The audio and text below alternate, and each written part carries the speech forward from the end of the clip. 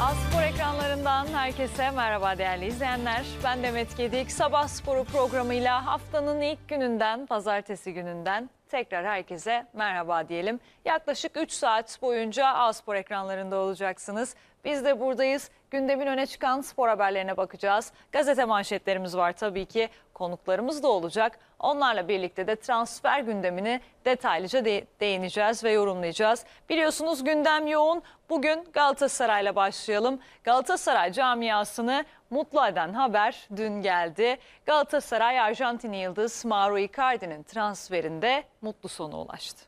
Evet sırada gazete manşetlerimiz var. Günün öne çıkan haberlerine, transfer gelişmelerine bir de burada bakalım. Hemen Fotomaç gazetesiyle başlıyoruz. Biz de aslında bu saat dilimine başlarken Icardi'den bahsetmiştik. Fotomaç'ta da hemen e, gülen bir fotoğrafıyla görüyoruz kendisini. Icardi Galatasaray'da Cimbom yılın transfer bombasını patlattı. Milyonlarca taraftarın beklediği müjde geldi. Suudi Arabistan'dan yıllık 32 milyon euroluk maaş önerisini geri çeviren Icardi yeniden Galatasaray'da 3 artı 1 yıllık imza atacak. Icardi'nin yanında Parades'i görüyoruz. Paredes de çok yakın. Galatasaray bu transferde de e, sona yaklaşmak üzere. Angelinho için ufak bir kısım var. Galatasaray Icardi ve Parades'den sonra bir bomba daha patlatıyor. Bu da Icardi olacak gibi duruyor. Ciku Fenerbahçe'de Ganalı stoper 3 artı 1 yıllık imza atacak. E, dün bir hazırlık maçı oynandı. Az önce özet görüntüleri de izledik. Penaltılarda maçı 4-3 kaybetti Sarı lacivertliler. Fanatik gazetesinde de hemen Ciku var. İmzaya çok yakın olduğu burada da vurgulanmış. Artık gözler yıldızlarda. Sarı lacivertliler balayında olan Wilfried Zaha'nın vereceği kararı bekliyor. Sebastian Szymanski için Dinamo Moskova ile yapılan pazarlıklarda büyük aşama kaydedildi. Manchester United'dan ayrılan David De Gea için de görüşmeler şu anda devam ediyor. Ve aşıklar karışıyor, kavuşuyor. Mauro Icardi var. Galatasaray taraftarının sevgilisi Icardi Aslan'a geri dönüyor. Sarı Kırmızılar PSG ile 10 milyon euroya anlaşmak üzere. Arjantinli Yıldız'la 3 artı 1 yıllık sözleşme için anlaşma sağlandı. Her an kap bildirimi gelebilir. Icardi Avusturya kampına da katılabilir. Takım şu anda zaten e, kamp çalışmalarına Avusturya'da devam ediyor. Leandro Paredes bitmek üzere. Bundan da az önce bahsetmiştik. Sayfa içerisindeki diğer haberlere bakalım. Vodafone Park'ta Yıldız Yağmuru. Genç Emrecan Bulut dışında kimseye imza attırmayan Beşiktaş müthiş transfer operasyonu için düğmeye bastı.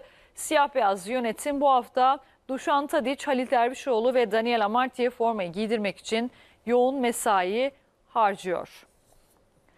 Sabah gazetesiyle devam edelim. Murat Özbostan ve Selim Soydan'ın gündeme dair köşesi var. Birçok konuya değinmişler. Bazılarına bakalım birlikte. Egosuyla Galatasaray'ı şampiyon yaptı. George Jesus'tan bahsedilmiş. Fenerbahçe için kaleci, stoper ve orta sahanın şart transferler olduğuna vurgu yapılmış aynı zamanda.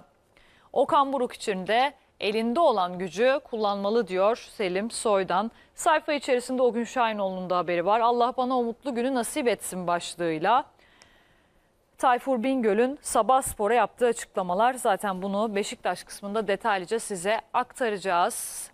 Hürriyet gazetesine gelecek olursak Kırkpınar'da Zafer Zeybe'yi finalde İsmail Balaban'ı deviren Yusuf Can Zeybek Kırkpınar'ın yeni baş pehlivanı oldu. 29 yaşındaki Antalya Büyükşehir Belediye pehlivanı ilk kez bu başarıya ulaştı. Ee, Bir de Fotomaç gazetesinin Süper Lig sayfasına bakacağız. Hemen üstte Ender Bilgin'in Ender Fikirler e, köşesi var. Birçok konuya değinmiş kendisi. Hemen klişeleri alt üst eden transfer başlığına biraz bakalım.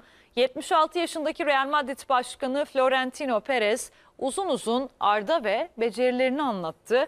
Arda Güler, Los Galacticos'un mucidi Zidane, Figo, Ronaldo, Beckham, Bale, Benzema ve nicelerini transfer eden ikonik Real Madrid Başkanı Florentino Perez'in yanında imza atarken görünce gurur duydum. Her şeyden önce bir Türk olarak üzerine bir de onun maçlarını anlatmış, yorumlamış, sohbet etmiş bir medya mensubu olarak göğsüm kabardı. 76 yaşındaki Başkan Perez uzun uzun Arda'yı ve becerilerini anlattı. Fenerbahçe'den Türk futbolundan bahsetti. İstesek para vererek yapamayacağımız reklamımızı yaptı. Arda'nın transferi 18 yaşındaki Türk gencinin doğrudan bir dünya devine gidebileceğini ortaya koyan tarihi de bir örnek oldu. Sol tarafta hemen küçük bir ikaz başlığı var. Çok kısa buna da biraz bakalım. Galatasaray yeni sezonun ilk hazırlık maçını Hull City oynadı. İlk yarı 3 farklı öne geçip değişiklikler, düşük konsantrasyon derken kalesinde 4 gol gördü.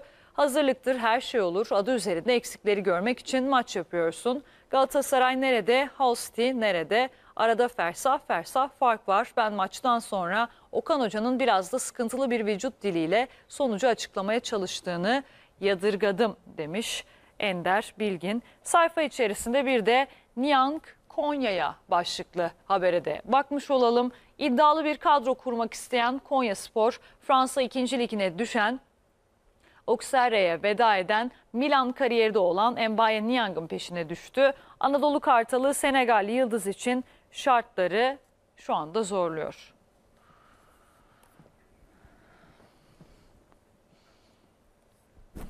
Gazete manşetlerindeki öne çıkan haberlere baktık. Çoğunlukla tabii ki transfer gündemini size aktarmaya çalıştık. Haberlerimize tekrar bir geri dönüş yapalım. Hatay Spor 6 Şubat'ta yaşanan deprem felaketi sonrası ilk kez sahaya çıktı. Volkan Demirel yönetimindeki Akdeniz temsilcisi hazırlık maçında Hull City ile 1-1 berabere kaldı. Avrupa'da kaydedilen en güzel frikik gollerle Sabah Spor'undaki ilk saatteki ilk saatlerimizi şimdilik noktalıyoruz. Saat başında tekrar devam edeceğiz. Sizi de bekliyoruz. A Spor ekranlarından tekrar merhaba değerli izleyenler. Sabah Spor'una ikinci saat dilimimizde tekrar karşınızdayız. Spor haberlerimize geçeceğiz ama öncesinde İstanbul trafiğindeki yol durumunu size aktaracağız. A Spor Televizyonu ve A Spor Radyo ortak yayını dinleyicilerimiz için İstanbul genelinde trafik yoğunluğu şu anda %47. Anadolu yakasının Avrupa yakasına göre daha yoğun olduğunu söylemek mümkün. Özellikle Ataşehir, Ümraniye, Kavacık e, yönünde köprüye giden yollar oldukça yoğun. E, Avrasya'ya girişte yine Acıbadem bölgesinde e, büyük bir yoğunluk olduğunu söyleyebiliriz. Duyurularımız var. Tem Celaliye Selimpaşa yönünde hasarlı bir trafik kazası gerçekleşti. Trafik kazasına karışan araçlar emniyet şeridine alındı. O bölgede trafik yoğunluğu arttı. D100 Büyükçekmece Beylikdüzü yönünde de sol şeritte bir trafik kazası meydana geldi. Orada bir şerit trafiğe kapatıldı. O bölgenin de yoğun olduğunu tekrar etmiş olalım. Trafik yoğunluğu İstanbul genelinde şu anda %49. Sabah sporuna gazete manşetleriyle devam ediyoruz. Bu saat dilimimizde ağırlıklı olarak manşetlere bakacağız. Takımların haberlerini inceleyeceğiz. Galatasaray'la başladık. Oradan devam edelim. Fotomaç gazetesinin Galatasaray sayfasında hemen Erden Timur'un açıklamaları var. Az önce de izledik aslında. E peki burada ne ön plana çıkmış? En iyi takımı kuracağız başlığı kullanılıyor. Erden Timur eksikleri tamamlayarak geçen yıldan daha iyi bir takım olacaklarını söyledi. Satır başları var. İkinci forvet alacağız. Paradezi bekliyoruz. Şimanski'yi istedik. Maaş konusu konuşuluyor. Raşitsa da bitecek. Herkese teklif olduğunu söyledi. Talişka transferinin zorluğundan bahsetti ve Arabistan'ın e, işleri transfer gündeminde işleri bozduğuna da değindi. Şov zamanı atağa kalkan Aslan iki ismi daha bitirmek üzere. Parades'in kulübü PSG ile büyük ölçüde anlaşan Sarı Kırmızılar 29 yaşındaki Arjantinli orta sahanın kararını bekliyor. Galatasaray'a evet diyen Angelinho için Leipzig'e yapılan teklif artırıldı. İspanyol sol bekte ayrılık için takımdan izin istedi. Bir Sanchez iddiası da var. Geçen sezon kapıdan dönen Şilili Yıldız Galatasaray'a önerildi. Galatasaray'ın kampı başladığı Avusturya'daki ilk çalışmalarda gerçekleştirildi. Yine antrenmandan görüntüler var. Zaniolo kat, takıma katılan güçlü fiziğiyle dikkat çeken bir isim oldu. Yurt dışındaki hazırlıklara start veren Sarı Kırmızılar ilk idmanda kuvvet çalışmaları yaptı. Torreira'nın da sakatlığı sebebiyle e, kampa katılmadığını da eklemiş olalım. Fanatik gazetesinde Icardi geliyor başlığı var. Fransız L'Equipe'in ardından ünlü gazeteci Fabrizio Romano da Icardi transferini duyurdu. Sarı Kırmızılı ekibin Arjantinli süperstarla el sıkıştığı ve imzalar için gerekli belgelerin hazırlandığı belirtildi. Daha önce söylendiği gibi Icardi için 10 milyon euro bonservis bedeli ödenecek. Sponsorlarda tabii e, destek olacak. Sponsorlarla birlikte artık Icardi Galatasaray'da diyebiliriz. Angelino için geri sayım olduğunu söylemiştik. Antonio görüşmesi var. Icardi'nin yedeği olarak Antonio'yu düşünen Cimbom West Ham'la bir görüşme yapacak. Galatasaray Başkan Vekili Timur'un Jamaikalı oyuncuyla kulübüyle görüşüp transferi bitirmek adına hafta içinde İngiltere'ye gitmesi de bekleniyor. Erden Timur'un açıklamaları hemen burada da var. E, Bir hazırlık maçı daha oynayacak Galatasaray. Bugün rakip Kisvar'da olacak Macaristan ekibi. Saat 20.30'da oynanacak bu karşılaşma. Sabah gazetesiyle devam edelim. Mehmet Özcan'ın e, yazısına bakacağız. Sol altta Icardi'de mutlu son başlığını kullanmış o da. Arjantinli Yıldız'la her konuda anlaşıldı. PSG ile arayı kapattı. Aslan 30 yaşındaki forvet Galatasaray'ın 10 milyon eurodan 3 sezonluk mukavele teklifine evet dedi. Kulübüyle pazarlıklar sürerken 10 milyon euro bonservis bedeli karşılığında transferin de bitmesi bekleniyor.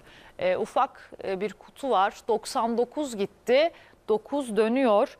Geçen sezon 99 numarayı sırtına geçiren Arjantinli Yıldız bu sezonsa 9 numarayla geri dönecek. Inter, PSG ile Arjantin milli takımında 9 numarayı giyen ancak geçen sezon bu numara boş olmadığı için 99'u seçen Icardi için bu kez 9 numara boş tutuldu. Latin ekolü Sarı Kırmızılarda geçen sezon şampiyonluk getiren Güney Amerikalı ağırlığı artırılacak. Lucas Torreira'dan bahsediliyor. Hürriyet gazetesinde Parades tamam gözler PSG'de başlığı var. Sarı Kırmızılı, Kırmızılar Icardi'nin alınmasını önerdiği Arjantinli oyuncuyu ikna etmeyi başardı. En olumlu isimlerin e, başında geliyor diyebiliriz artık Parades için. Icardi Süper Lig'de rekor kırdı. Tarihin en pahalısı 10 milyon euro bonservis artı 4 yıllık 40 milyon euro. Mevcut kurla Icardi operasyonunun kulübe toplam maliyeti 1.4 milyar TL'den yüksek olacak. Sarı Kırmızılar 2 ay önce oyuncuya yaptığı 7,5 milyon euroluk teklifi başarı bonuslarıyla birlikte 10 milyon euroya çıkardı. Mauro Icardi yeni şartlarla 3 artı 1 yıllık kontrata imza atmayı kabul ederken PSG'ye de 10 milyon euro bonservis önerildi. Fransız ekibi rakamı arttırmak istese de Icardi'nin evet demesi sonrası fazla direnemedi ve bu bonservisi de kabul etti. Erden Timur'un Şimanski ile ilgili açıklamalarını görüyoruz. Şimanski ile görüştük ama yıllık ücreti yüksek diyor Erden Timur. Bir de milliyete bakalım. Icardi'de son tango. Nevzat Dindar'ın bir yazısı. Galatasaray geçen sezonki şampiyonluğa büyük katkı sağlayan golcüyle belli oranda anlaşma sağladı. Her gazetede neredeyse Icardi'yi e, gördük. 22 milyondan 10 milyon euroya bizim rakamlarımıza e, geliyor açıklaması da var.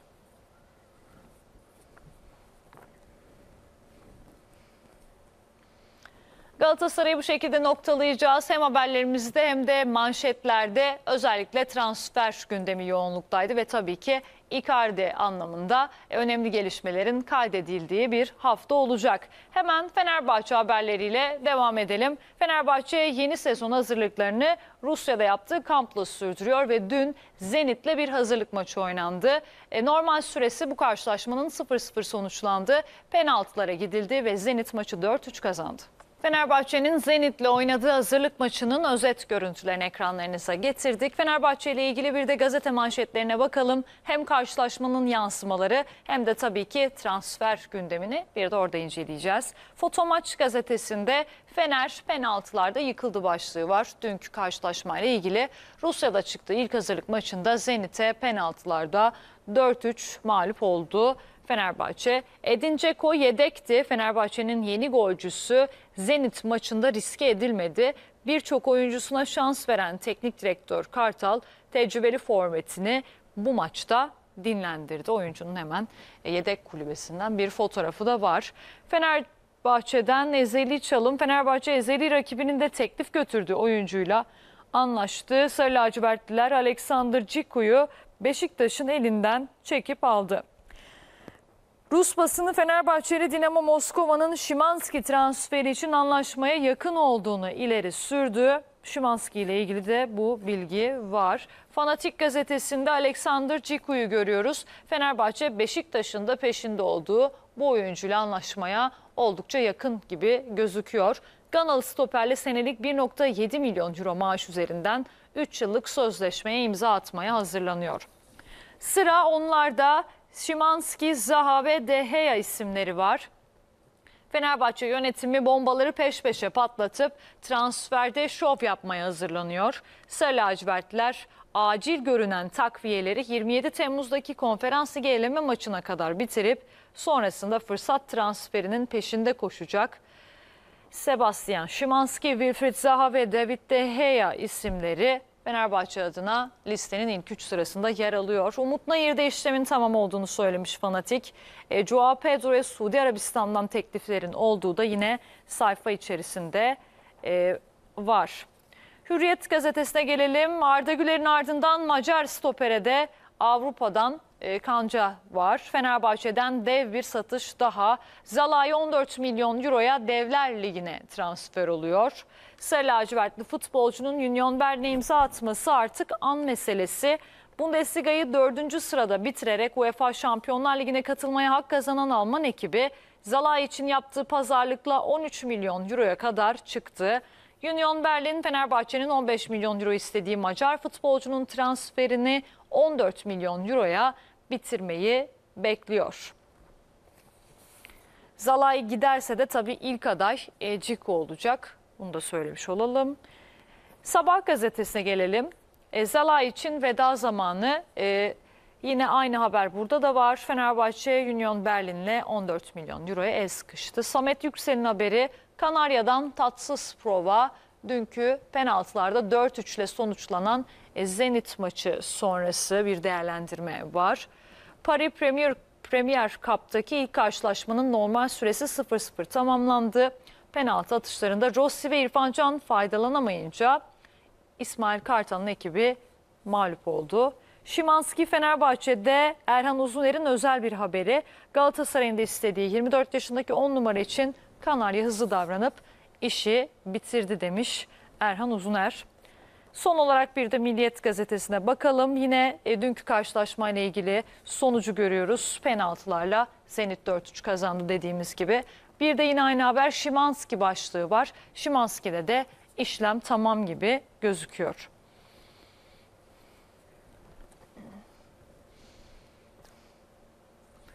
Fenerbahçe'nin ardından Beşiktaş haberleriyle devam edeceğiz. Diğer takımlar biliyorsunuz yurt dışı kamplarına gitti. Beşiktaş da dün itibariyle yurt dışı kampını Almanya'da devam ediyor. Evet Beşiktaş kamp çalışmalarını Almanya'da devam ediyor. Öne çıkan transfer gelişmelerine hemen gazete manşetlerine bakmaya başlayalım. Foto maç hemen Almanya detayına değinmiş. Dün itibariyle gitti takım ve artık antrenmanlara da başlayacaklar. Siyah beyazlı takım ikinci etap kampı için Bavyera'ya gitti. 21 Temmuz'a kadar burada çalışacak olan Beşiktaş ilk hazırlık maçını da Augsburg'la oynayacak. TT operasyonu Beşiktaş 23 yaşındaki Brezilyalı kanat oyuncusu için düğmeye bastı. Savaş nedeniyle Shakhtar'da kalmak istemiyor oyuncu ve sözleşmesi 31 Aralık'ta bitiyor. Bunu fırsat bilen Kara Kartal Sambacı'da şartları zorluyor. Oyuncu şimdi olmazsa ara dönemde kadroya katılacak. Halil Dervişoğlu kampa bekleniyor. 4 senelik anlaşma sağlanan 23 yaşındaki Halil Almanya kampına bekleniyor. Siyah beyazların genç futbolcuyla 1-2 gün içinde resmi sözleşme imzalayıp hemen Almanya'daki kampa yetiştirecekleri kaydedildi. Duşan Tadic ismi var. Beşiktaş Ajax'la sözleşmesini feshetmek üzere olan Sırp Yıldız için pusuda bekliyor. Duşan Tadic'in rotası İstanbul olabilir. Fanatik gazetesinde bir transfer yağmuru başlığını görüyoruz. Kartal yüksek uçuşa yeni hafta itibariyle start veriyor. Siyah beyazlar kadrosunu takviye etmek için çalışmalarını hız verdi. Yönetim dün başlayan ve 21 Temmuz'a kadar sürecek olan Almanya kampına 3 yeni transferi yetiştirmek istiyor. Kara Kartal'ın yurt dışı kampına ilk getireceği ismin Halil Dervişoğlu olması bekleniyor. Genç forvetle yapılan sözlü anlaşmanın kısa süre içinde resmiyete dökülmesi, transferinde açıklanması planlananlar arasında. Beşiktaş stoperdeki hedefi Daniel Amarty'yi de bitirmeye yakın Ganalı stopere ek olarak Ajax'la yol ayrımında bulunan Dušan Tadić için de beklemede olan yönetim Sırp Yıldız'ı da şartlar uygun olursa almayı hedefliyor. Sabah gazetesinde o gün Şahinoğlu'nun alttaki yazısına bakalım. Allah bana o mutlu günü nasip etsin başlığıyla Beşiktaş'ın bonservisini alabilmek için uğraştığı Tayfur Bingöl Sabah Spor'a açıklamalar yaptı. Alanya Spor'u transfere ikna etmeye çalışan 30 yaşındaki Sabek, en büyük hayalim Beşiktaş formasıyla şampiyonluk yaşamak. İnşallah en kısa sürede anlaşma sağlanır dedi. Hürriyet gazetesiyle devam edelim. Beşiktaş Lianco'nun peşinde İsmail Er'in bir haberi. Siyah beyaz yönetim Southampton'ın 26 yaşındaki Brezilyalı savunmacısına göz dikti. Şenol Güneş'in acilen sağ stoper almalıyız sözü üzerine harekete geçen Beşiktaş, Southampton'a 4 milyon euro teklif etti. İngiliz ekibinin 8 milyon euro istemesi üzerine beklemeye geçen siyah beyazlar önümüzdeki günlerde yeniden çalışmalara başlayacak. Takvim gazetesiyle devam edelim. Suat Serdar ismi var. Geçtiğimiz günlerde Beşiktaş adına e, yeni transfer olarak anılan bir isimdi aslında. İkna edilmesi biraz zor gibi gözüküyor. Suat Serdar'la ilgilenen Beşiktaş, Hertha Berlin'e 26 yaşındaki futbolcunun şartlarını sordu. Türk asıllı Alman yıldızın ise Almanya'dan ayrılmayı düşünmediği ifade ediliyor. Ozan Tufan var hemen sol tarafta. Onun ismi de biliyorsunuz Beşiktaş'ta anılmıştı kısa bir süre. E, Halstead'e mutlu olduğunu dile getirdi. Zaten Acun Ilıcalı da e, basın toplantısında e, Ozan'ın Halstead'e kalacağını söylemişti. Sanırım Beşiktaş'a gidiyor. Rus gazeteci Alemanov Zaynutdinov'la ilgili sanırım Beşiktaş'a gidiyor açıklamasını yaptı. E, Sayıs'ın kadroda olmadığı hemen burada var. Yeni sezon hazırlıkları için dün Almanya'ya gitti takım ve kamp kadrosunda sakatlığı bulunan Cenk Tosun, Tayyip Talha'nın yanı sıra takımdan ayrılması beklenen Romain Saiz da yer almadı.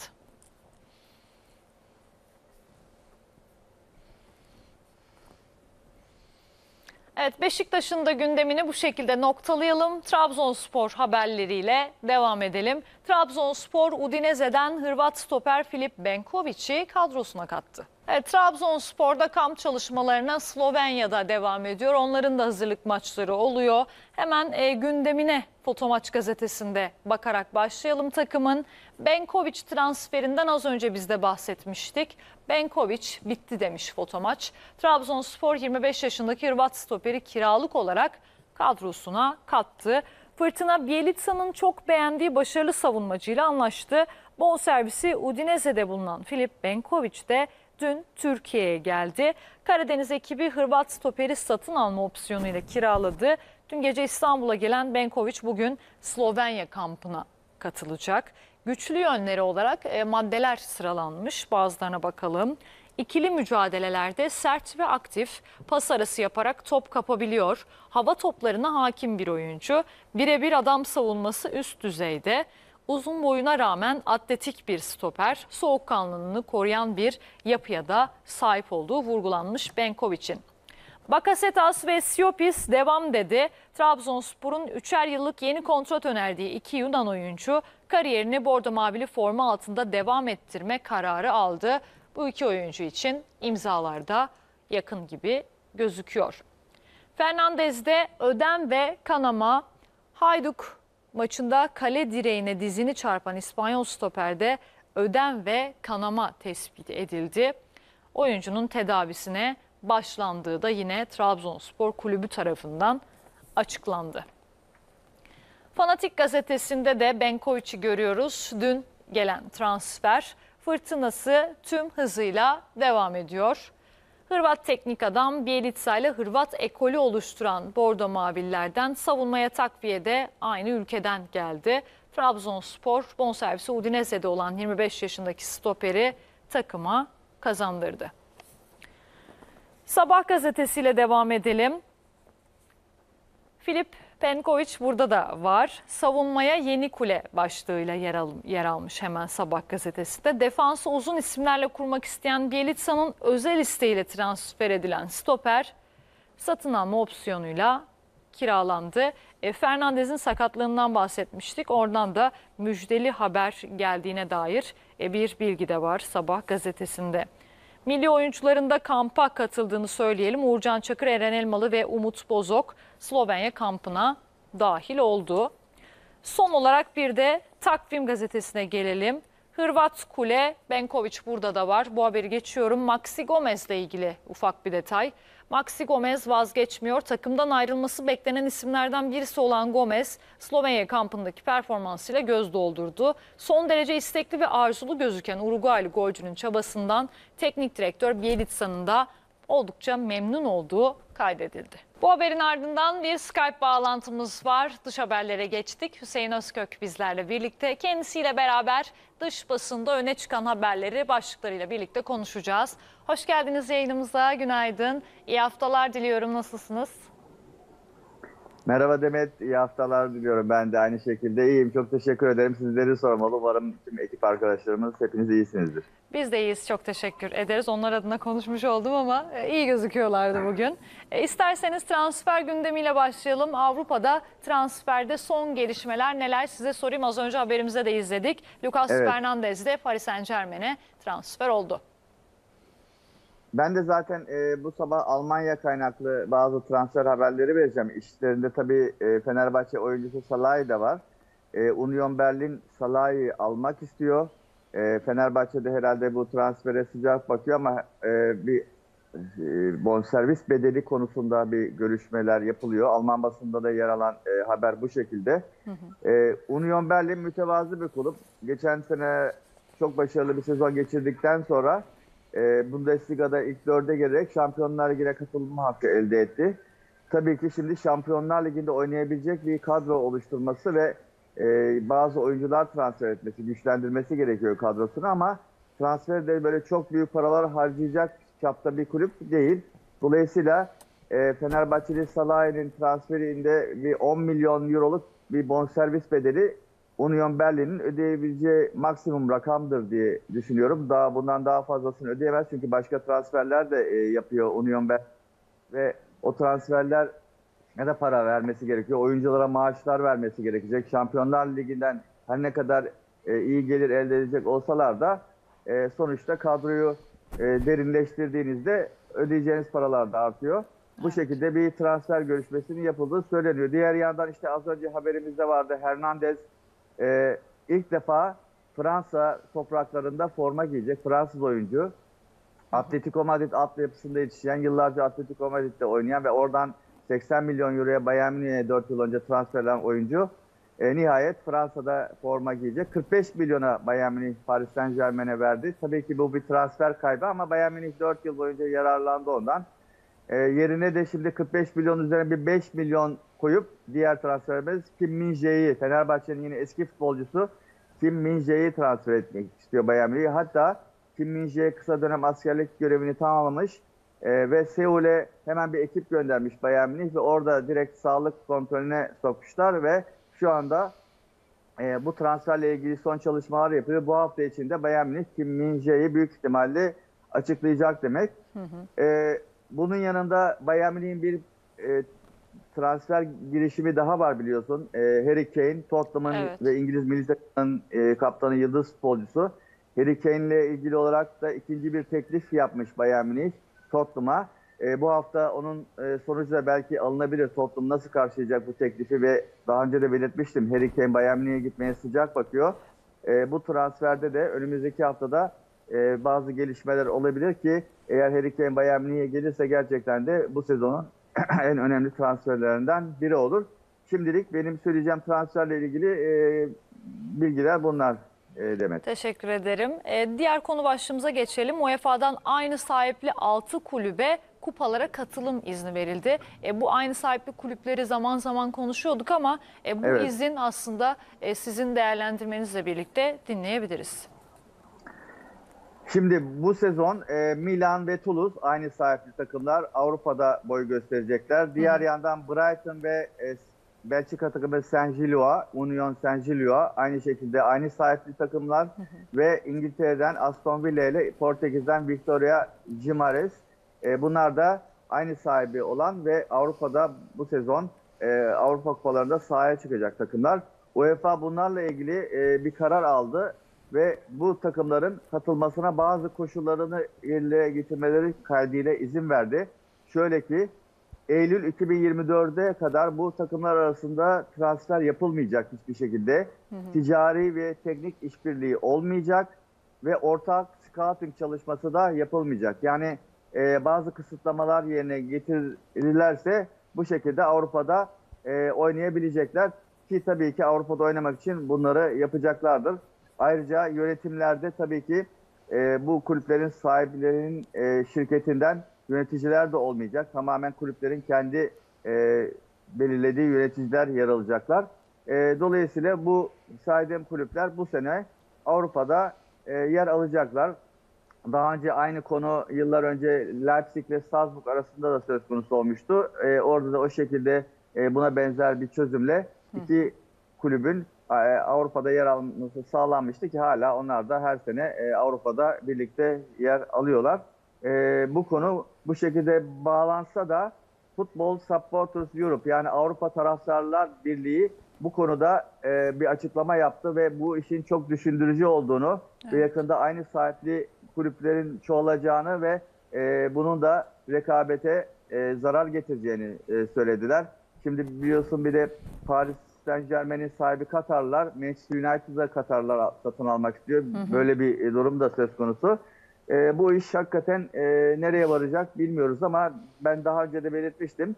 E, bir e, meslektaşımız açıklamıştı. Tam 256 kulüp dünyada aynı ağın içinde aynı sahipli şekilde yer alıyorlarmış. Hakikaten e, kaygı verici gelişmeler bunlar futbol adına.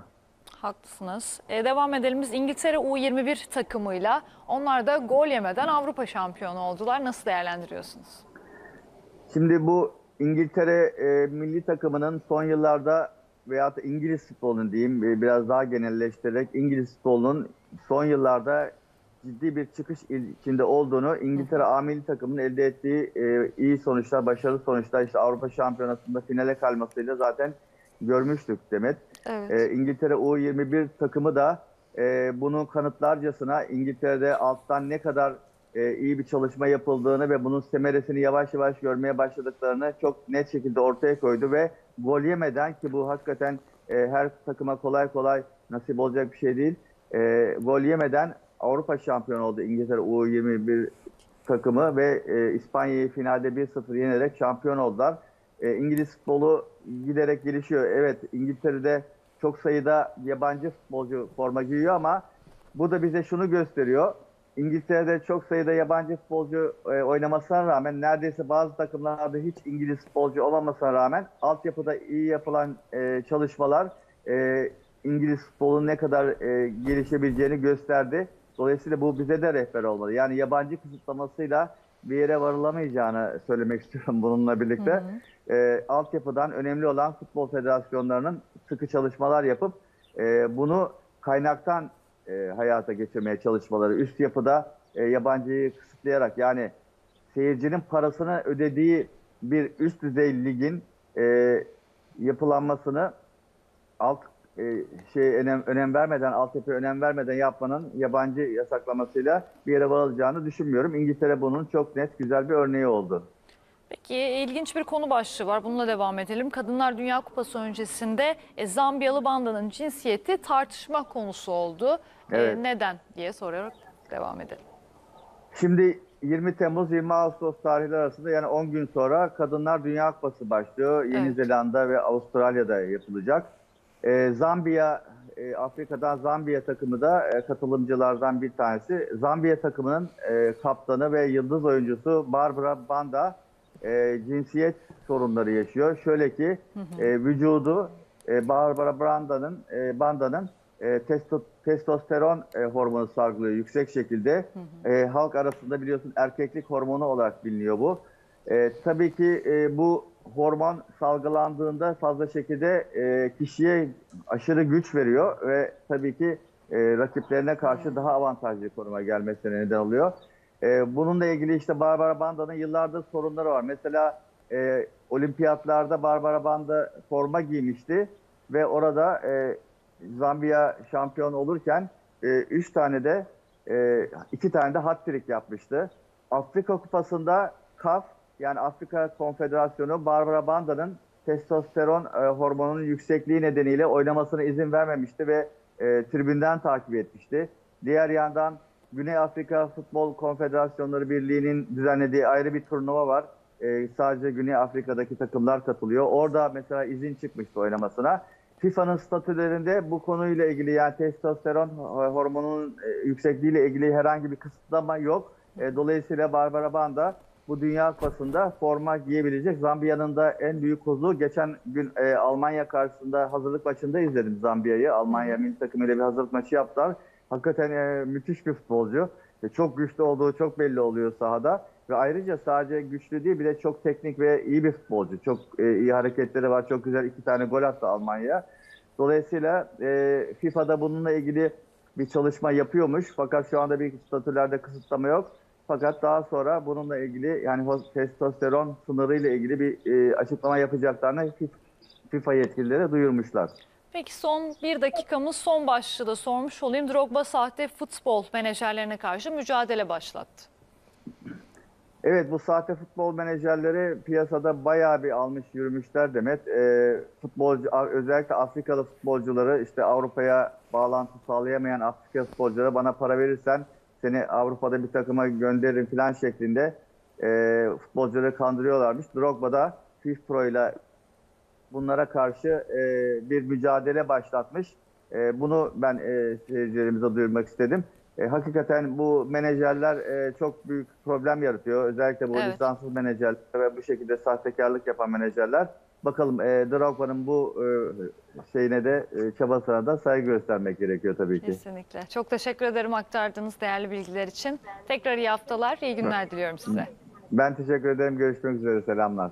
Hüseyin Özkök'e aktardığı bilgiler için tekrar çok teşekkür ediyoruz. Bu Skype bağlantımızın ardından sabah sporundaki ikinci saat dilimizde noktalayacağız. Noktalarken düne gidelim. Artı futbol transfer programında neler konuşuldu bir izleyelim. Saat başında tekrar devam edelim. A Spor ekranlarından tekrar merhaba değerli izleyenler. Sabah sporunda 3. ve son saat dilimindeyiz. Stüdyo konuğumuz var. Transfer gündemini detaylıca konuşacağız. Suat Murhan bizlerle birlikte. Suat hoş geldin. Hoş bulduk, günaydın. Nasılsın? Teşekkür ederim. Sen Haftaya da nasılsın? başlıyoruz. Evet. Ben deyim bu arada. Çok Bizde hafta ederim. bitmiyor biliyorsun. İç Evet, transferler, pazar. cumartesi, pazar. Sen de ben de. Hiç sendrom olmuyor bende. yok yok Pazartesi öyle şeyleri sendrom. açtık. Çok oldu. Evet katılıyorum ben de sana. Transfer gündemi yoğun. İsimler çıkmaya devam ediyor. Bazı isimler bir kayboluyor tekrar gün yüzüne çıkıyor. E, değerlendireceğiz hepsini takımlar bazında. Galatasaray'la başlayacağız. Çünkü Tabii. biliyorsun e, büyük haber e, dün yayıldı. Mauro Icardi Galatasaray'da e, oyuncunun transferinde mutlu sona ulaştı Sarı Kırmızılar. Bekliyorduk sanki. Özellikle son haftalarda, e, son hafta aslında biraz daha böyle e, yakın e, gördüm ben Evet. Galatasaray'a. Ama tabii öncesinde bir Suudi Arabistan iddiası kafalarımızı çok fazla karıştırdı. Niye o parayı reddetsin Tabii. diye konuştuk ama tam olarak resmi teklif gelip gelmediğini biliyor muyduk? Ee, yani 30 milyon euroları bulan bir teklif var. Ya bu işler şöyle olur. Resmi olarak sana 30 milyon veriyoruz denmez. Evet. Doğru. Ee, aracılar vasıtasıyla denir ki 30 milyon euro teklif etmeyi düşünüyoruz. Kabul eder misiniz? Gibi görüşmeler olur. E, bunu da net biliyoruz ki Icardi bunu reddetti. Ben Suudi Arabistan'da oynamak istemiyorum bu yaşımda. Teşekkür ediyorum dedi ve o kapıları kapattı. Aslında Galatasaray'a devam ediş süreci de bu. Neden reddettiği sebeplerine biraz gelirsek. Türkiye'de bu kadar yıldız olması, Evet. Galatasaray'ı şampiyon yapması, adını belki de tüm dünyaya Galatasaray birlikte bir kez daha Tabii. duyurması. E, senin eklemek istediklerin. E, şimdi şu şu noktayı bir belirtelim. Oyuncu öncelikle futbol piyasasında kalmak istiyor. Yani Suudi Arabistan futbol piyasasının dışı. Çin futbol piyasasının dışı. Amerika futbol piyasasının dışı. Bunu kabul edelim. Futbol piyasası Avrupa'da dönüyor ve Brezilya Arjantin'den de biraz destek görüyor. Bu sınırların içinde kalan oyuncular her zaman göz önünde.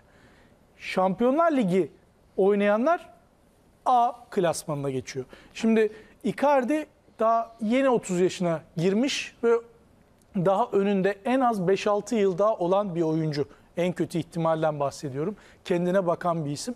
E Galatasaray'da geçen sezon geçirdiği süre e, kendisine de gösterdi ki bu iklimde devam edebilir.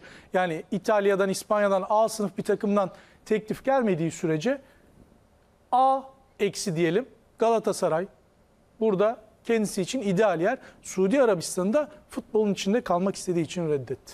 Kesinlikle. E, tarihin en pahalı transferi olacak. Şimdi Falcao'yu da katlayıp Türkiye'nin maaş rekorunu Tabii. kırmış olacak. Evet. 10 milyon e, euroyla Falcao'ya 5 milyon euro maaş ödenmişti. O da bonuslarla 7'ydi bu arada onu da hatırlatalım. Yani öyle Peki. 5'te bitmiyordu iş. Yine ikinci olarak Tabii. kalıyor ama. E, bir de Van Persie var. Üçüncü basamak olarak 4 milyon 900 bin euro. Icardi rekorları kırmaya Güzel. devam ediyor bu anlamda. Şimdi senle mesela her şeyi unut. Geçen sene Icardi yoktu Türkiye'de. Galatasaray şampiyon oldu. Şampiyonlar Ligi'ne gidecek. 10 milyon euroya Icardi'yi alıyorsun bonservisiyle. Olur mu? Kabul eder misin? Ben ederim. Hiç geçen seneyi bilmiyoruz. Ne yaptı, ne yapmadı Bir tık bilmiyoruz. tereddüt ettim ama Yani ben edebilirim. yani hadi Paris Saint Germain'i geç. Galatasaray ayarında bir takımda Hollanda'da, Belçika'da şampiyon oldu. 23-24 tane gol attı. Ben 10 milyon euroya o bonservisi veririm. Ama kuşkusuz bunun etkisi e, büyük bir çoğunluğu bence geçen sezonun e, tamamen Tabii ki. aurasını değiştirmiş olması. Ya değiştirdi ve kendi, mesela Falcao örneği konuşuluyor ya ikinci sırada. Falcao çok büyük oyuncuydu ama sakatlık problemi yaşıyordu ve Evet. büyük bir düşüşle beraber gelmişti. Yaşı da daha fazlaydı. E şimdi Icardi'ye bakıyoruz. O da düşüş sonrası geldi ama futbolun içinde kaldı. Daha genç, daha fazla kendisini bu işe verdi. E bunlar bence önemli etkenler. Van Danara'nın bunu tercih etmesine şaşırdım ben. E, Kafaları karıştırır diye düşünüyordum çünkü. Şimdi e, tabii artık futbolcular ailesiyle falan da hepsi gelmiyor. Şunu belirtelim. Çok karışık bir aile yapıları var. Van Danara Arjantin'de bir program yapıyor. Bir TV yıldızı. İtalya'da bir hayatları var. Van Danara'nın ilk eşinden olan çocukları var. Onlarla ilgileniyor. Burada Icardi Van Danara'dan olan iki kızıyla beraber yaşıyor. Hanımefendi gidiyor, geliyor İtalya'ya. E, İtalya'da buluşuyorlar. Bu anlamda da Icardi çok rahat Galatasaray'da Çok değil rahat mi? ve şunu da belirtelim. Röportajlarında yaz döneminde özellikle biz Milano'daki evimizi hiç kapatmadık. İstanbul Milano çok yakın ve rahatlıkla orada buluşuyoruz diyor. Yani biri Arjantin'den geliyor, biri Evet. İstanbul'dan gidiyor. Orada bir hayat kuruyorlar. Bunu da pek bozmak istemediler açıkçası. Okan Buruk bu anlamda e, tolere edici bir teknik adam bence. E, bu özelliğiyle de onu biraz daha fazla kazandığını düşünüyorum. Ben de aynı fikirdeyim. Şimdi bazı teknik adam vardır disiplini öne koyar.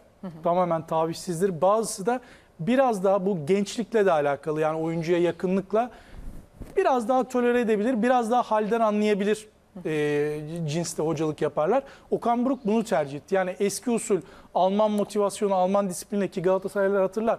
Felkamp döneminde bu tarz işler olmuştu. E, orada değil de disiplini değil de daha fazla oyuncuyu kazanmaya yönelik bir hamle yapıldı. E, bu da oyuncunun Galatasaray'ı seçmesinde bence önemli bir etken. Disiplinle de oyuncuyu kazanan belki teknik direktörler vardır ama sen Icardi o adam değil.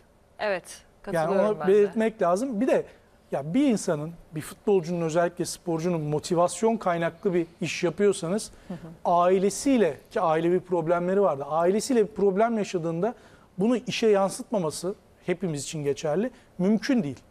E, sahada kaybolursunuz. Ne yapacağınızı bilmezsiniz. Eliniz ayağınız birbirine dolaşır. E, orada da Icardi'yi ailevi sorunlarını çöz. O rahatlıkla gel bir maçı kaçıralım sezonu kazanalım dedi. E, bunda da başarılı oldu. Peki şimdi diğer transferleri de biraz e, düşününce tabii birçok isim netleşmedi ama Icardi'nin Galatasaray'da olması Evet. yeni sezon adına e, seni ne anlamda heyecanlandırıyor? Beklentilerin e, nelerdir bu konuda? bir riske girmiyor Galatasaray. Yani Icardi olmasaydı yeni bir forvet, üst düzey Şampiyonlar Ligi kalitesinde bir forvet bulmalıydı. 10 milyon euro bonservisle bu işi çözebilir miydi? O da soru işareti ve taraftarı kazanmış, Türkiye'ye alışmış, lige alışmış. hali hazırda hemen gelip oynayacak düzeyde bir oyuncu geliyor. Bu Galatasaray'ın en büyük işi. Yani başka kimseyi almasalar bile belki Raşitsa için de konuşuluyor. O da gündemde. Onu da aldıklarına başka hiç transfer yapmadan bile Şampiyonlar Ligi gruplarına kalabilirsiniz. E, bu da bence en önemli faktör. Kesinlikle. Şimdi hem transfer gündemini konuşacağız, e, kampı da konuşacağız aynı zamanda ama Erden Timur'un önemli açıklamaları var. İstersen onları bir izleyelim. Değerli izleyenler Sportif AŞ Başkan Vekili Erden Timur Avusturya kampında transferle ilgili önemli açıklamalar yaptı. Açıklamaları bir izleyelim sonrasında konuşalım. Galatasaray Sportif AŞ Başkan Vekili Erden Timur'un Avusturya kampında yaptığı açıklamaları ekranlarınıza getirdik. E, Birçok konuya değindi aslında. Biz de bazılarına deneye- den- değinelim istersen. Angelino konusuyla Evet. başlayalım. E, sol bek için zaten e, bir ay öncesinde belki konuştuğumuz bir isimdi ama sonra böyle bir e, hiçbir şey yokmuş gibi e, oyuncunun çok fazla isteği var e, takımın da aynı şekilde diye Evet. vazgeçildiği söylendi ama tekrar gündeme geldi. Zaten sol bek için en iyi adaylardan biri olduğunu biliyorduk. E, neler söylersin? Ya Angelio transferi kulübünün istediği bonservis nedeniyle aslında bayağı bir e, yüksek e, zora girdi. Çünkü 10 milyon artı bonuslar gibi bir şeyle kapıyı açtılar. Galatasaray'ın şöyle bir taktiği var. Geçen sene de bu başladı. Ya oyuncu ücreti düşük olacak ve bonservis e, yüksek olacak genç isimler için ya da tam tersi yaşı fazlaysa yıllık ücret biraz arttırılabilir ama bonservis olursa e, o da çok düşük bedelle. Yani böyle bir ters orantı kurdular. Bunu da sürdürmek istiyorlar. Angelio da tam ortada bir oyuncu aslında. Mesela Borna Sosa iddiası da çıktı ki o Yani da dün gazetelerde çok o da çok önemli vardı. bir oyuncu. O da çok katkı verecek. Ha, buradan şunu anlıyoruz. Yeni dönemde Okan Buruk e, sol bek değil de biraz sol açık arıyor. Yani bu oyuncuyu ileri itecek. Kerem'i gerekirse e, hücum forvet, sol forvet yapacak bir sistemi kurguluyor. Sürekli çıkacak bir oyuncu. Asist özelliği Çok olan bir sağlayacak. sol bek arıyor. E, Angelio da bu isim. Burada Mata olayını unutmayalım. Mata Galatasaray'a veda etti ama belki çok süre almadı ama Galatasaray'ın gelecekte İspanya piyasası bu tipte Avrupa'da oyuncu kazanmasına çok faydası olabilecek bir oyuncu.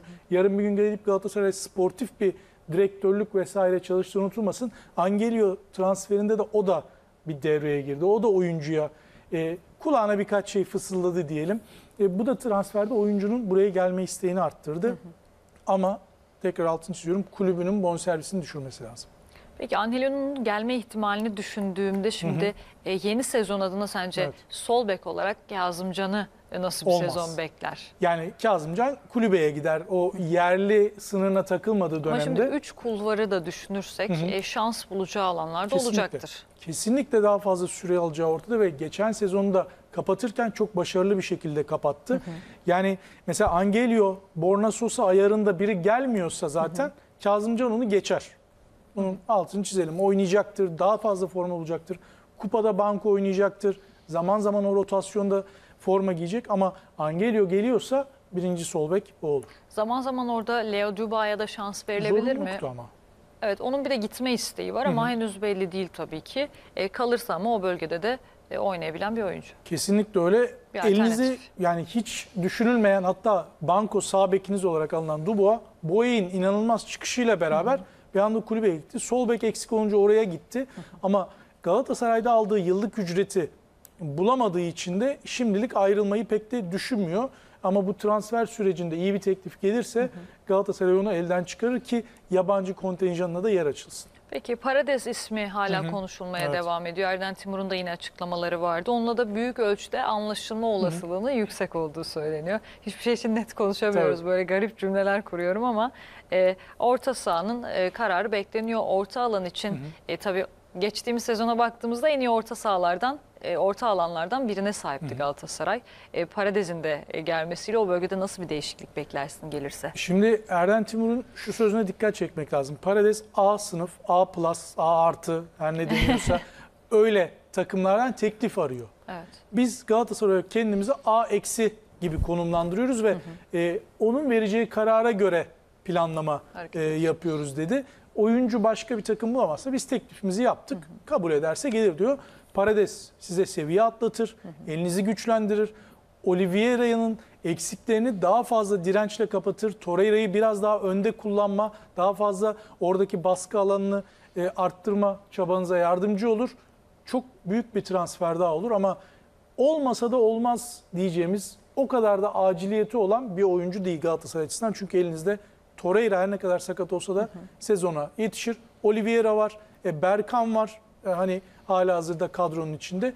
Çok aciliyeti olan bir oyuncu değil. Ona göre de planlama yapılıyor. E, bir ara şöyle bir şey konuşuldu. Hani Ne dedi? orta alana bir takviye yapıldığında e, Sergio Oliveira kesilirse e, o da tabii ki yıldız bir oyuncu sonuçta ve kulübede uzun süre kalmak istemeyecektir. Bu anlamda belki bir sorun olabilir mi? Bir orta e, saha transferinde diye konuşuldu. Sence? E, şöyle olmaz. Bu saatten sonra Oliveira Avrupa'nın büyük takımlarından birinde kendine yer bulamaz. Yani Roma'dan geldiğini unutmayalım. Roma'da geçirdiğini son sezonunu. E, bunun sonrasında yerine biri gelse bile o rotasyonda yer bulur. Şunu da belirtelim. Parades'ten yola çıkarak konuşuyoruz. Oliveira'yı zaman zaman forvet arkası da oynatabilirsiniz. Pas kalitesi yüksek ama baskı kalitesi direnç kalitesi düşük bir isim diğerlerine göre. O yüzden de böyle forvet arkasında Mertens'in boşluğunu da zaman zaman doldurabilecek daha az alana hükmederek oyun oynayabilecek bir oyuncu.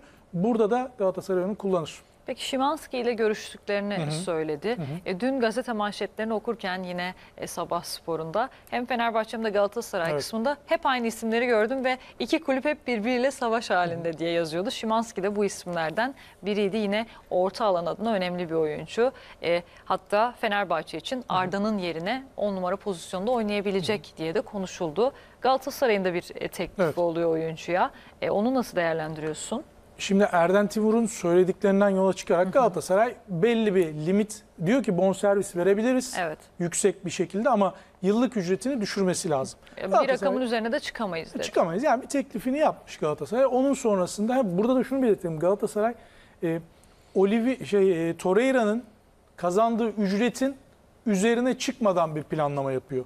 Yani oyuncu da her kim olursa olsun yani böyle çok büyük dünya çapında bir yıldız değilse bu seviyeleri aşmayacak Galatasaray. E, oyuncu da burada kendisi açısından isteyebilir ama Galatasaray o dengeyi bozmadan ilerleyecek. Sanki bu son e, dönemden sonra artık Fenerbahçe'nin bayağı bir yoluna girmiş durumda oyuncu. Peki herkese teklif ed- olduğundan bahsetti. E, İsim olarak şöyle bazı isimleri saydı. Nelson, neredeyse. Zaniolo, Çıkıldağ, Morutsan, Kerem, Barış, Emin gibi isimler. E, Zaniolo'yu konuşalım çünkü onun en çok talibi belki de e, o oyuncu olduğunu biliyoruz ama e, sanki Juventus olursa gider olmazsa gitmez gibi geliyor bana. E, sana nasıl hissettiriyor? Evet öyle çünkü İtalya'da oynamak istiyor. Yani İngiltere'de e, çok öndeki takımlarda zaten e, oynayabilecek durumda değil. Yaşı ve e, durumu fiziği itibariyle. Evet. E, bu yüzden Juventus gerçekten istiyor ama Juventus'un da başında e, mali planlamalar, sorunlar, hani puan silinmesi gibi işler var.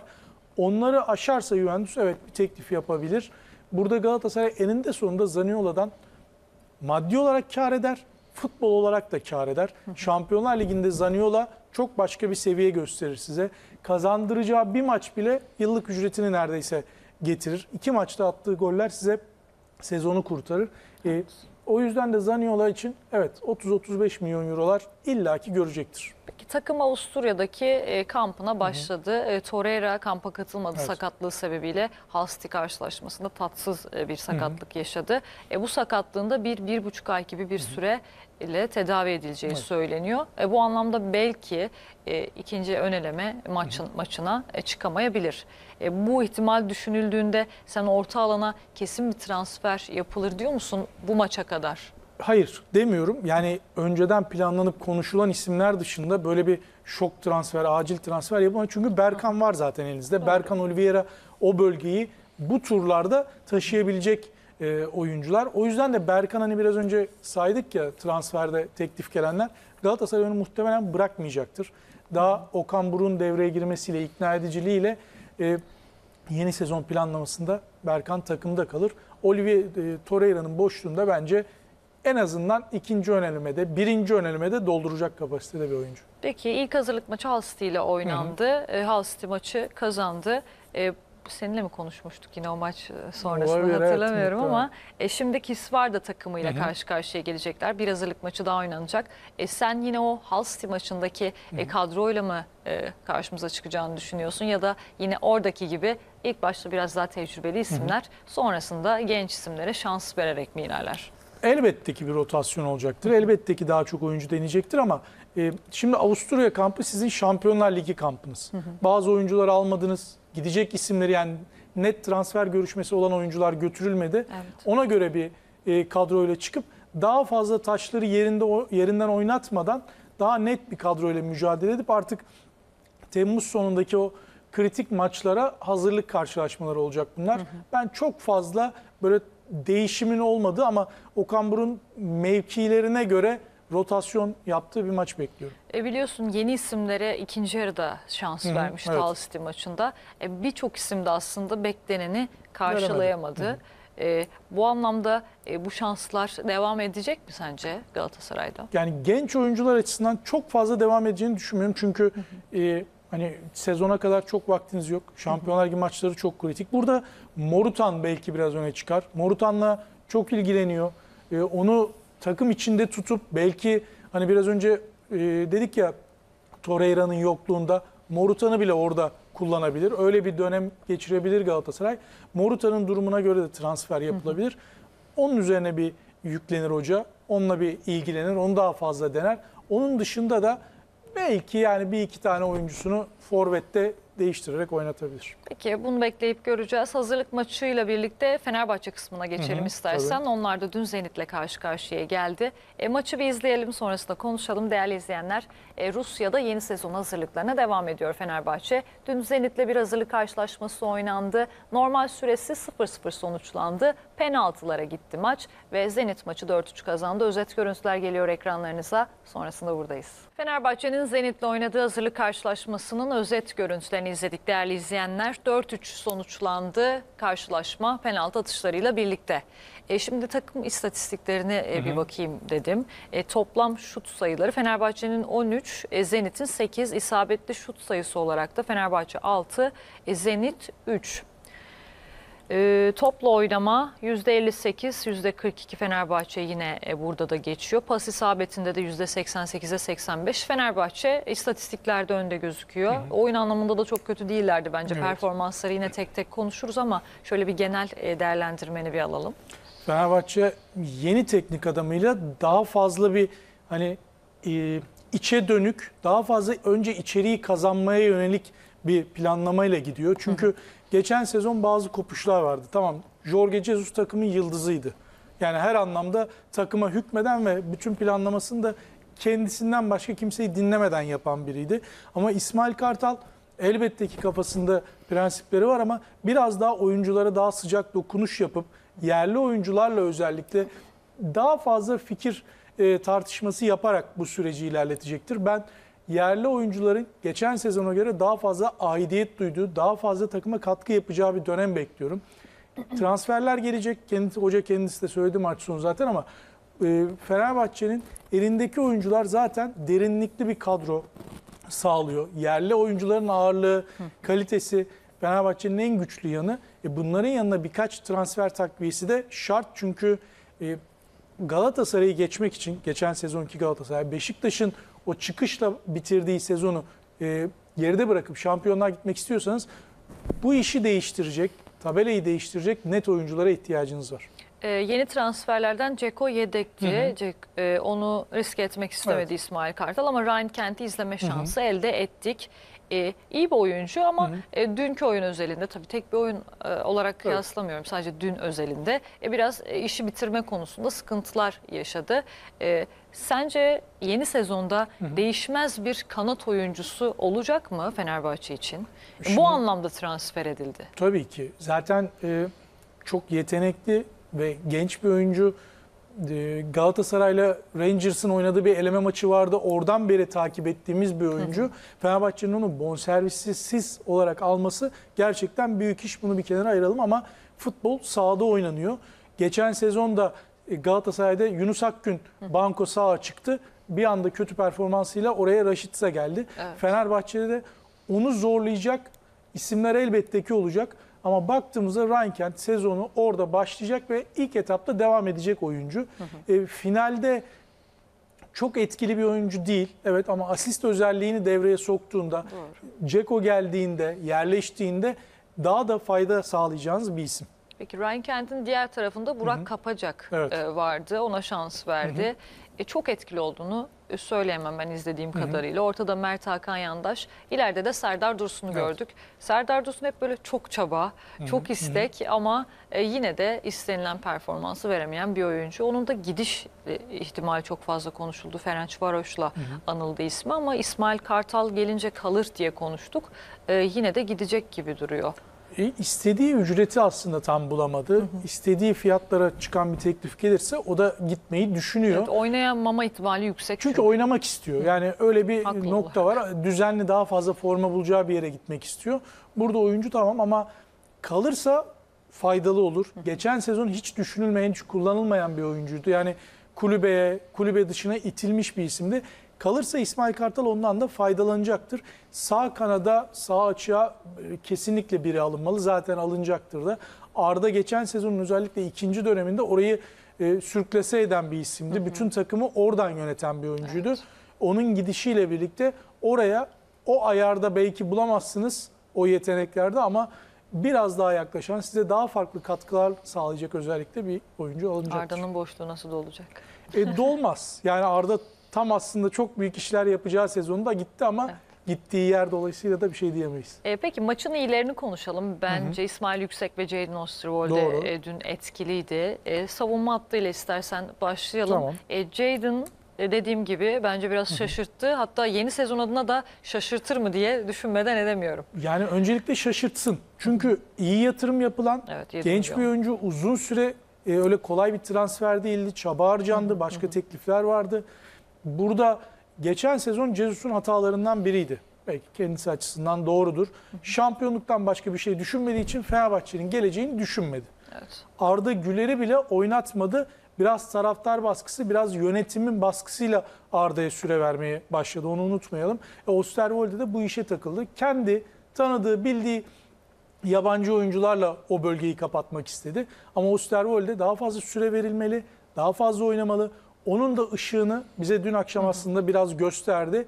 Oyuncu genç, öyle dışarı atarak, dışarı iterek kazanamayız. Fenerbahçe ondan faydalanmak zorunda. Şanssız bir dönemde de geldi. Şimdi Jesus çok fazla e, şans vermedi ama bir Covid geçirdi yanlış hatırlamıyorsam. Evet, bir sakatlığı oldu. Ya bu sebeple de biraz e, aksadı. Yani o Covid'ler, o e, sakatlıklar hani forma ama bulamayınca çıkar vardır. ortaya. Böyledir. Elbette ki etkisi vardır ama olabilir. oyuncu psikolojik açıdan da ben sakatım der yani.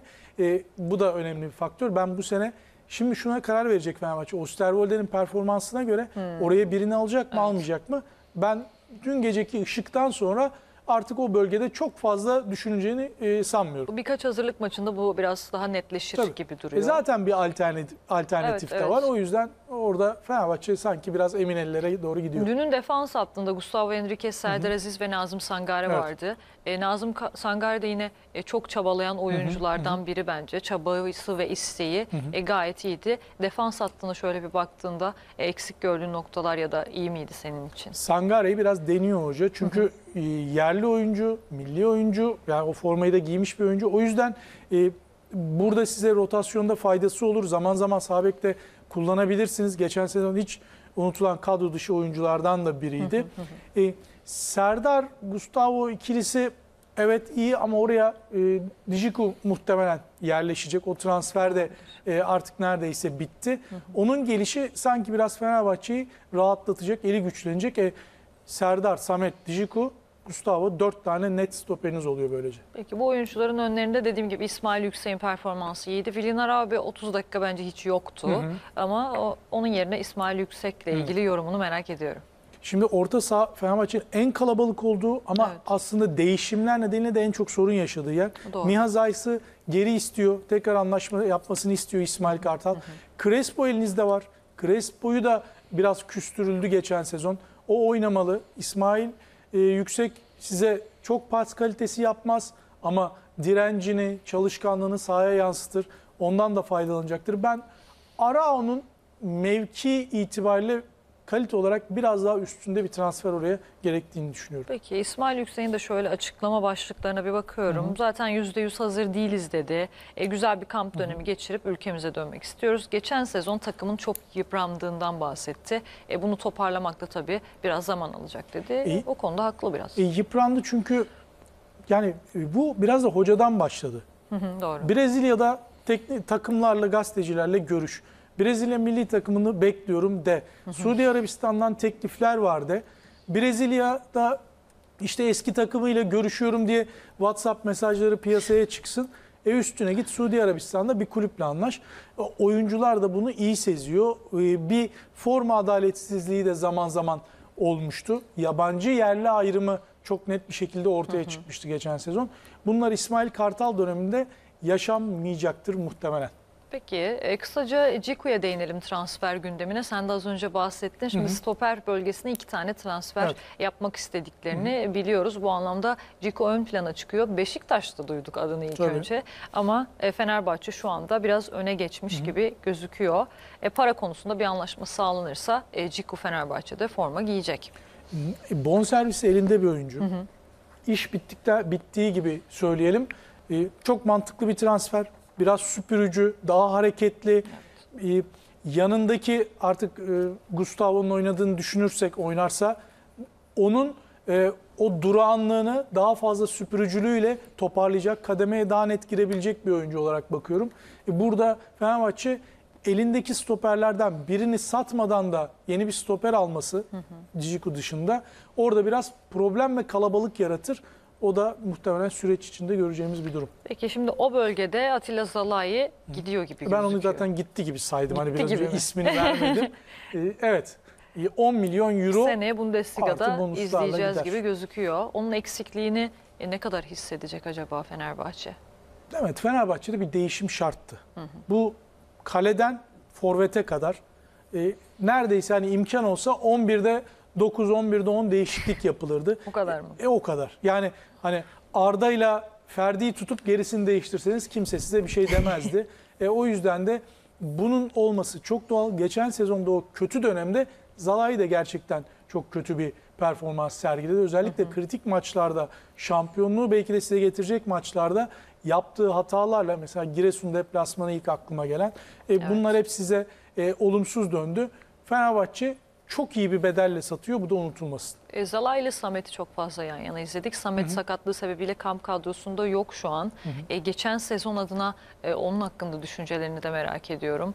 E, biraz e, riskli bir durumda mı sence? Şimdi kötü dönemde herkes o kadar kötü gelir ki gözünüze. Yani Evet, Messi'yi bile koysan ileriye o kötüyse ortam oyuncu da kaybolur. E Samet de biraz bunu yaşadı. Mesela Adana Demirspor Başkanı e, Sayın Sancak hemen alırım geri versinler istiyorlarsa dedi. Böyle hani oyuncuya yönelik eleştirilere. Evet. E, burada kritik nokta siz bu oyuncular varken başka adam alacak mısınız? O zaman Samet'in forma şansı daha da azalır. Peki e, Fenerbahçe adına senin eklemek istediğin bir şey var mıdır? O ışık var ama transfer şart. Muhtemelen gelecek. Fenerbahçe yeni bir yapılanmaya gidiyor. Yeni bir oyun felsefesine gidiyor. Sezonun açılışı ve ilerleyen 4-5 hafta taraftarın kenetlenmesi için çok önemli. Eğer bu olursa e, daha net bir şekilde yoluna bakar Fenerbahçe ama olası kayıplar, olası taraftarla aradaki bir sıkıntı yönetime yönelik tepkiler işin biraz rengini değiştirir. Daha çok çok başında bence Kesinlikle. bütün takımlar. E, Transferler tamamlanmadı. Bir sürü belki gidecek oyuncu var. O anlamda bence e, çok da aşırı e, bu hazırlık maçlarını e, çok da detaylandırmamak mı lazım bilmiyorum Çok ama fazla önem atfetmeyelim Evet, bu hazırlık haklısın, maçlarına. Yani haklısın. Nazım Sangare'nin, Serdar Dursun'un oynadığı maçlar. Çünkü ikisi de geçen sene hiç düşünülmeyen Evet. oyuncular. İsmail Kartal takımı görüyor, oyuncuları Aynen görüyor, öyle. herkese süre çok veriyor. fazla hani e, maç sonunda eleştiri görüyorum sosyal Yok, medyada. bence Bu çok anlamda yanlış. bence ben de yanlış Yani daha. Temmuz ayındayız. Evet. Ağustos'ta lig başlayacak. Takımların normal halini Ekim, Kasım dönemi gibi anlayacağız. Bunlar Haklısın. unutulmasın. Peki Fenerbahçe'yi bu şekilde noktalıyoruz değerli izleyenler. Beşiktaş'ta devam edeceğiz. Onlar da e, kamp çalışmalarına başladılar. İstersen bir VTR'miz var bunu izleyelim. Değerli izleyenler Beşiktaş yurt dışı kampı için dün Almanya'ya gitti. Haberimizde detaylara bakalım. Diğer takımlar gibi Beşiktaş'ta Almanya'da kamp çalışmalarına başladı. 21 Temmuz'a kadar orada olacaklar. E, kampa katılmayan oyuncular var, beklenen oyuncular var. Örnek verecek olursak Sayıs e, katılmadı. Zaten sayısının durumu çok fazla belirsiz bu anlamda. Evet. E, şimdi istersen transfer gündemini biraz e, konuşalım. E, Olan olmayan oyuncuları. Bu anlamda Halil Dervişoğlu'na bir parantez açmak lazım bence. E, çok fazla konuştuk kendisini. Transferde bir pürüz çıktığı söyleniyor. Ama tabii hala e, bir anlaşma, görüşme söz konusu. E, neler aktarmak istersin, neler söylersin Halil'le ilgili? Ee, Beşiktaş'a bir yerli santrfor, zaman zaman kanat hücumcusu olarak kullanacağınız bir oyuncu şart. Halil de bunun için ideal bir isim aslında. Daha önce Süper Lig görmüş, Galatasaray'da e, bir dönem etkili olmuş, tekrar takımın almak istediği bir oyuncuydu ama şunun altını çizelim. Çıkan haberlere göre yıllık ücrette Halil Dervişoğlu'nun daha yüksek bir 1 e, milyon, bedel 1 istediği. milyon euro seviyesinde bir maaş talebi Evet. var. E şimdi burada Beşiktaş'ta kendisine göre planları var ve bu yıllık ücretlere uzun zamandır Halil'in de forma giymediğini unutmayalım. Yani Halil e, hani haberler yanlışsa bir şey diyemem tabii de kendisini nereye konumlandırıyor bilmiyorum ama Beşiktaş'a gelmezse bundan sonraki adresi ne olacak? O paraları bulabilecek mi? Sanki mesela Icardi geçen sene Galatasaray'a niye geldi? Sadece para için mi? Hayır. belli bir seviyede kalıp yukarıya çıkabilmek, kendi futbol kalitesini gösterebilmek için geldi. Şenol Güneş'le birlikte Halil de bunu yapabilir. Şenol Güneş'le birlikte parlamayan oyuncu, geri dönmeyen oyuncu muhtemelen hiç kimseyle dönmez. yani Şenol Güneş dediğimiz teknik adam Burak Yılmaz'ı bile ki oyuncunun kendi ifadesiyle bunu söylüyorum geri döndürdüyse futbola başka bir yere gittiyse hocasını dinleyerek e, yani oyuncular da biraz fedakarlık yapmalı. 300-500 bin euro için yani bizler için halk için çok büyük para ama futbol spor kariyeri olanlar için öyle çok büyük rakamlar değil bunlar. Biraz fedakarlık yapıp e, bir seviye atlamanız lazım. Yani belki bir sene para almadan bile oynamayı kabul edebilecek seviyede. Çünkü Halil çok yetenekli bir oyuncu ama o e, patlamayı, o düzenli oynamayı bir türlü gerçekleştiremedi. Belki Beşiktaş için tam da aranan isim o. Halil için yararını mesela konuşuyoruz. E, Çıkışa geçebilir iyi bir Tabii, oyuncu. tabii. Ama Beşiktaş'ın e, o bölgede aslında iyi oyuncuları da var. Sayalım. E, bu anlamda mesela ona nasıl e, gelir? E, ya şimdi teknik adam eli güçlü olsun ister. Beşiktaş'ın kulübede problemleri var. Yani rotasyonda kullanacağı oyuncu çok fazla yok Şenol Güneş'in. Tamam böyle 23-24 oyuncuları kullanmaz Şenol Hoca ama böyle 21 kişinin de net oynayabilecek durumda olmasını ister. E, Halil de bunlar arasına yazılabilir. Doğru. Alternatifli bir oyuncu. Ama e, Beşiktaş elindekilerle de yetinebilir. Halil Beşiktaşsız olur mu onu bilmiyorum. Peki e, stoper e, defans bölgesine gelelim istersen biraz. E, ilk transferlerin o bölgeye yapılması bekleniyor. Hatta iki transfer e, birden bekliyoruz. Şimdi sayısının durumu çok belirsiz Evet. ama zaten e, bence artık gidecek. Kampa da de, katılmadığını mi? görünce e, bu şekilde bir e, karar alınabilir artık. E, Omar Colley'i düşününce bir Afrika Kupası var Ocak Evet. ayında yanlış hatırlamıyorsam. E, bu biraz e, tereddüt e, konusu Beşiktaş adına. Şimdi Amarty düşünülüyor o bölge için. Onda da bir Afrika kupası var. Bu anlamda Amarty ikinci plana geçti şu anda. Lianco ismi en fazla ön plana çıkan isim. E, bir numaralı hedef aslında. E, iki transferi de e, sence konferans ligi öneleme turundan önce yapmalı mı Beşiktaş?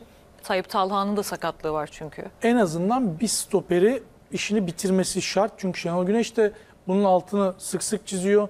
Ee, şimdi son basın toplantısında biraz söyledi ama Şenol Hoca günü geldiğinde bunun dozunu arttırır. Şimdiden uyarayım. Yani istediklerinizi yapmadığınızda Doğru. yönetime yönelik öyle e, eleştirileri de artar. Bu hani kimse şaşırmasın yarın bir gün.